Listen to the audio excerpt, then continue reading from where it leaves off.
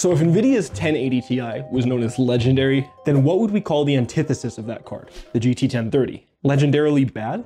Potentially. See, the GT 1030 came out in May of 2017, so it's getting old now. When it came out, it launched at 79 USD, which is really freaking low for a graphics card. I mean, the cheapest NVIDIA graphics card that you can buy right now that's brand new is the RTX 3050 at $219. So this was literally less than half the price of that when it came out, meaning that people knew it was low end when it did come out. Although surprisingly, it received really good reviews, with some buyers saying, and I quote, the card is really good. It stacked up pretty well against new, lower end cards of the time, and went blow for blow with mid range and higher end cards from several generations back. Quote, performing on par with the 550, meaning the GTX 550, while consuming 20 watts less, with another buyer stating, as cheap as you can get while staying relevant. Fast forward seven years till 2024, and the GT 1030 is pretty hated because now it's been stuffed into every low-end Amazon, AliExpress, whatever build that you can buy pretty much anywhere. And that made me curious as to how it would perform. Because if it's being stuffed in so many freaking computers,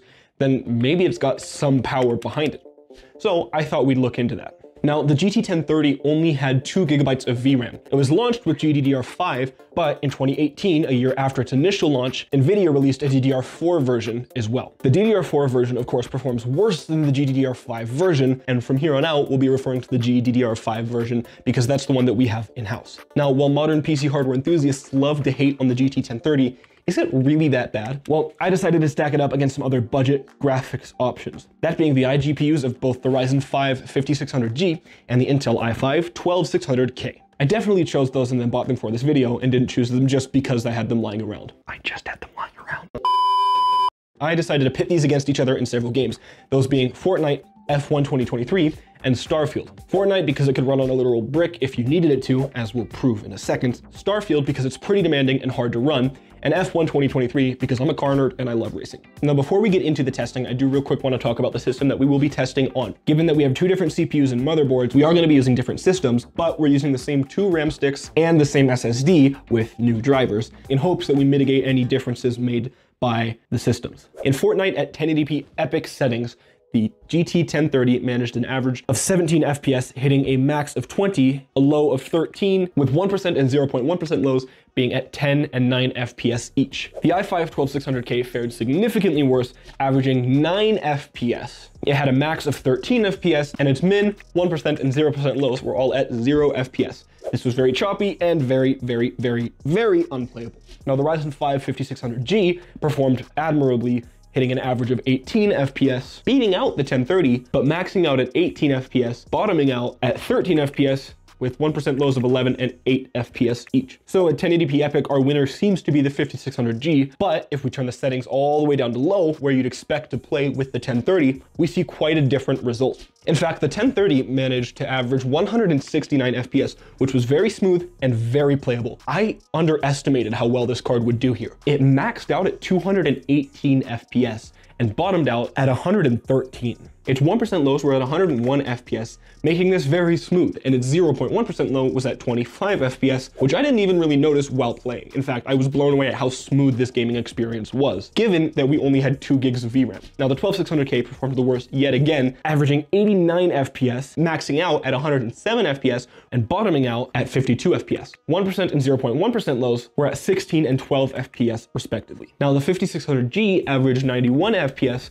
but maxed out at 140 45 FPS. It bottomed out at 29 FPS and had 1% and 0.1% lows of 13 and 4 FPS respectively. This was also pretty playable, but it was still pretty choppy with those 1% and 0.1% lows being as low as they were. Moving on to Starfield, the most demanding game that we tested, the 1030 managed to average 13 FPS at 1080p low. It maxed out at 17 FPS and bottomed out at 9 FPS with 1% and 0.1% lows being at 8 and 6 each. Now the i5 refused to launch this game stating that we did not meet the minimum graphical processing requirements, which is alright, I didn't expect much more. What did surprise me though was that the Ryzen 5 managed to outgun the 1030 in Starfield. It averaged 19 FPS, maxing out at 22, and bottoming out at 9 FPS. Its 1% and 0.1% lows were at 2 and 2 FPS each, making this, yes, still unplayable, but a little bit closer to playable than the 1030. In F1 2023, we see the inverse, with the Ryzen 5 refusing to launch, but the 1030 still beating out the 12600K. In fact, the 1030 averaged 30 FPS, maxing out at 34 and bottoming out at 26.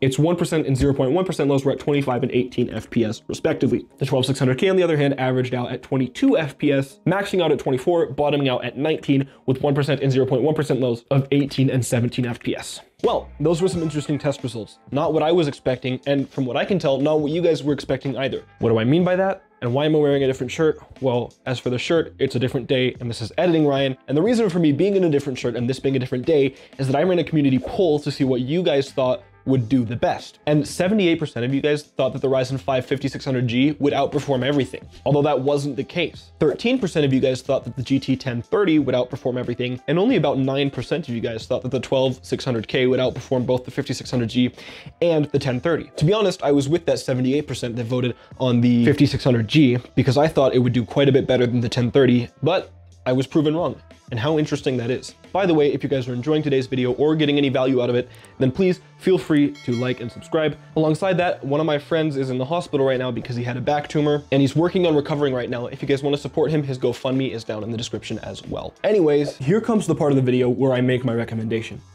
See, the 1030 is a surprisingly good card, especially given that you can find it for about 40 bucks on eBay all day. Is it gonna keep up with something like a 1650? No shot. The 1650's got twice the VRAM and is newer. There's no shot. That being said, I feel like that the 1030 is the bare minimum entry-level graphics card for most modern gaming. You're not gonna be able to play most AAA titles, it's just not gonna happen, especially given that this is a $40 graphics card. That being said, if you're just trying to play Fortnite, Apex Legends, or get into some basic light gaming, the 1030 is actually a totally acceptable card. Now, would I take the 1030 over something like a 5600G, for example? Well, given that the 5600G is only 20 bucks more expensive than the Ryzen 5 5600, I would actually go with that over the 1030 and then save your 20 bucks for a better graphics card later on down the road.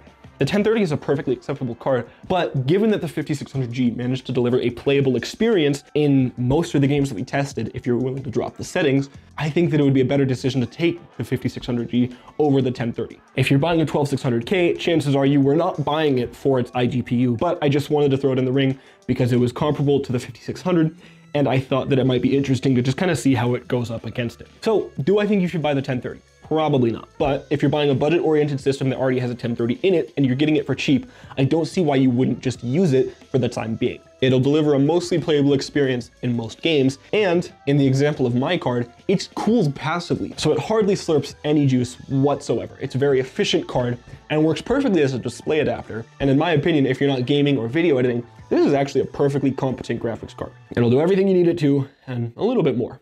Anyways, if you guys enjoyed this video, then check out this video right here, where I put the GTX 1080 Ti up against 2024.